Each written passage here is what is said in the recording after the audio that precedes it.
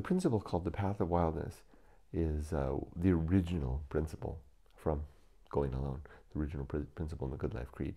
It was an idea that I came up with uh, way back in Japan, walking up in the mountains uh, along a farm road um, up by uh, a waterfall that I called the White Whale.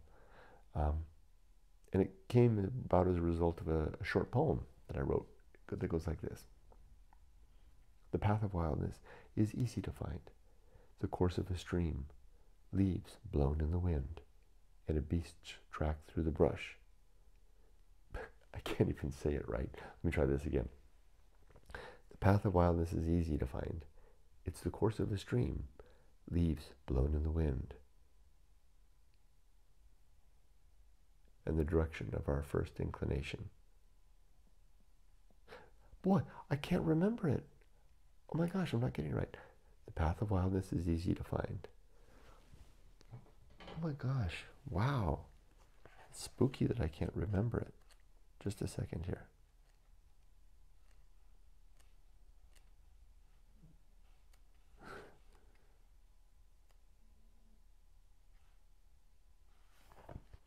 it's not even listed. It's in here somewhere. I've got it. I've got the that poem throughout the book. I'm kind of I'm a little unsettled that I can't remember it. I uh, I keep waiting for my mind to start to slip. Little things like this. Uh, I don't know where it is. It's somewhere. It's like at least three times it's listed in the book. Let me try one more time. The path of wildness is easy to find. Lee, I know I can't remember it. This is really unsettling and embarrassing. It's leaves blown in the wind, a beast tracked through the brush, the course of a stream. The, I don't.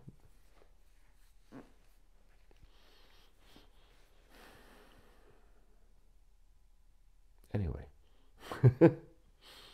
it refers to using to being in a dilemma about which way forward, as I am a little bit right now with my move to Japan with the family, and recognizing that sometimes the path, the way forward, the path of wildness, is the way that uh, nature courses, like leaves blowing in the wind, stream waters flowing down a, gra- down a gra- gravity grade, and beasts track through the brush, and the direction of our first inclination. That's the thing. What's your first inclination?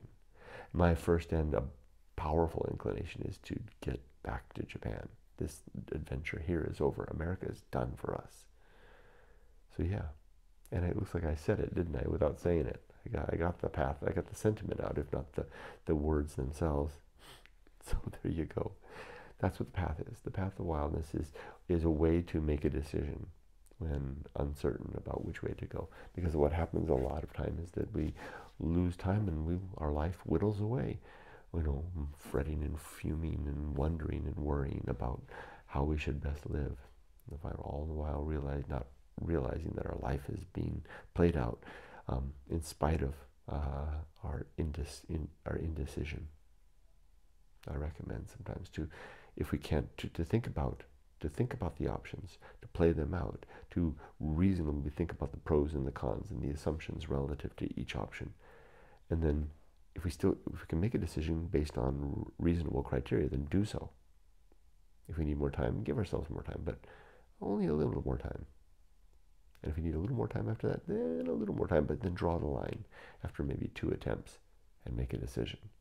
If we still can't make a decision, then the path of wildness suggests that we go with our first inclination. Realizing and recognizing that that inclination may lead us off the edge of a cliff.